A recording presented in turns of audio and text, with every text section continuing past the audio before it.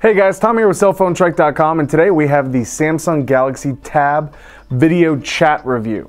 Uh, basically, uh, I've got one Galaxy Tab here. I've got a Galaxy Tab in the other room with our associate uh, Ricky, as you guys know from um, our Apple section, itechtrek.com. Check it out today. Anyways, um, we're just going to go ahead and demonstrate how easy it is to set up a voice call using the third-party application Fring. Uh, he has the T-Mobile Galaxy tab and I have the Verizon Galaxy tab, so pretty simple. So let's get into it. So here we go, we have the Galaxy tab, you know, huge 7-inch uh, tablet device. And it's pretty simple. I have Fring open here, but I'll show you how easy it is. You can go ahead and we'll reorientate the screen.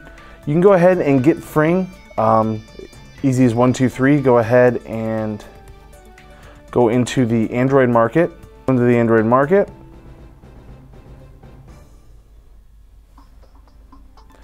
Go ahead, hit the search key, type in Fring. It'll bring up previous searches. Uh, we tried to bring up Qik, which is another uh, voice search, but for some reason the Qik on the Galaxy tab for Verizon would not work uh, with its voice chat capability. I'm not 100% sure why. Uh, probably mostly due to the fact that um, applications can be fine-tuned uh, per carrier, and the carrier decided not to use Qik, but they did allow Fring on here uh, for video chat. So we're going to go ahead, show how easy it is. Open up our Fring application. Um, we go ahead and these are just different um, messages you can send because you can do messages, or you can go back and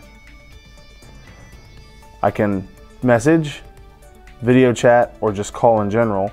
We'll hit video chat using the Fring service. Sometimes it does take a little while to load up.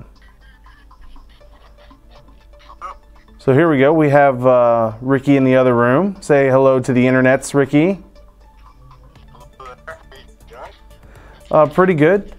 Uh, show people uh, some of the background around you a little bit.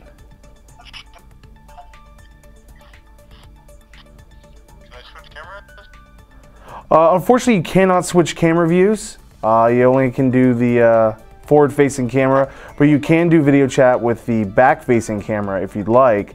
Uh, you just have to set it up before you start your video call.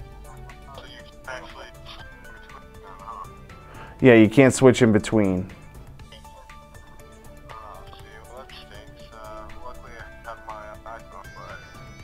That's that's because you're an Apple fanboy, but it's okay. So thank you for demonstrating with me, Ricky.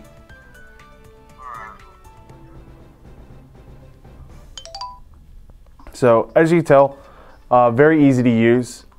Um, simple, colorful displays down here. Uh, again, Fring, it's a free uh, download, it's a free service to use. Uh, you can pay for international calling. I can show you that here. Go back. Uh, you can Fring out which you can buy credits and call people not on Fring from one cents a minute, call any landline or mobile worldwide. So kind of like a, a Skype-esque service as well. Um, they um, continuously roll out updates for better video quality and everything. Uh, they're a really, really nice service, and you probably have heard of them before. Uh, similar to, um, again, like I said, Qik or uh, Skype Mobile. Overall, as you can tell, Galaxy Tab here in the US, we cannot make a phone call, and that's the closest thing we can get to a phone call. Not too bad, a little bit of a video delay and a little bit of granular um, display just because the picture itself is stretched out so large across the tablet. Um, if there's maybe an update to shrink down the video image a little bit or to, again, like I said, they are increasing the ability for the uh, picture quality to be really, really nice as well.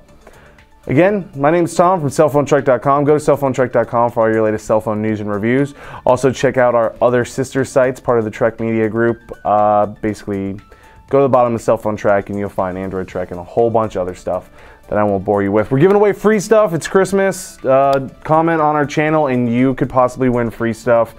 Just that simple. All right, I'm done with that. And there's one more thing I wanted to say. I know what it was. Happy holidays and have yourself a great new year.